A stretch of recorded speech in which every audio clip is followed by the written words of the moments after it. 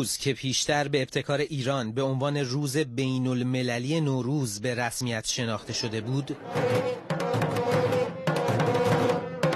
و هر سال هم با مدیریت ایران و با حضور سفرای حامی نوروز مراسمی اینجا در سازمان ملل برگزار می شد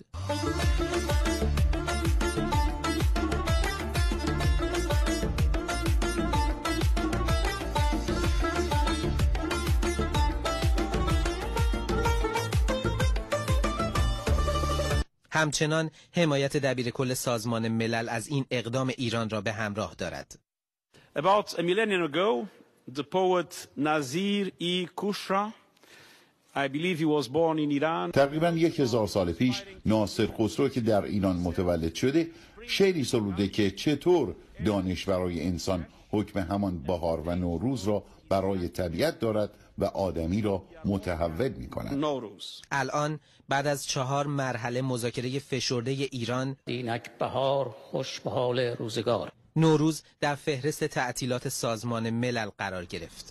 با تصویب قطعنامه‌ای در مجمع عمومی سازمان ملل.